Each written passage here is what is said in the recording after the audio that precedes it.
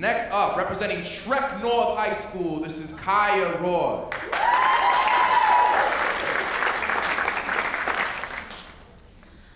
Ah, Why Because the Dazzling Sun by Emily Jane Bronte. Ah, why because the dazzling sun restored my earth to joy have you departed, every one, and left a desert sky? All through the night your glorious eyes were gazing mine, and with a full heart's thankful sighs I blessed that watch, divine. I was at peace, and drank your beams as they were life to me, and reveled in my changeful dreams, like petrel on the sea.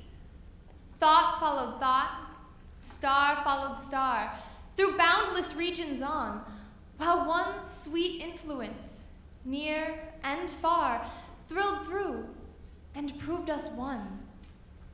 Why did the morning rise to break, so great, so pure a spell, and scorch with fire the tranquil cheek where your cool radiance fell? Blood red he rose, and arrow straight, his fierce beam struck my brow. The soul of nature sprang elate, but mine sank sad and low.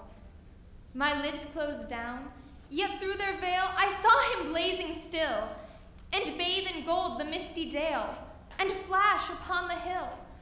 I turned me to my pillow then, to call back night, and see your worlds of solemn light throb with my heart and me. It would not do. The pillow glowed, and glowed both roof and floor, and birds sang loudly in the wood, and fresh winds shook the door. The curtains waved, the wakened flies were murmuring round my room, imprisoned there till I should rise and give them leave to roam.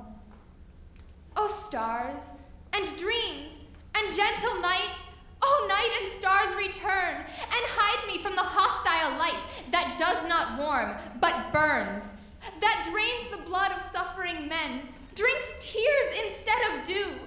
Let me sleep through his blinding reign and only wake with you.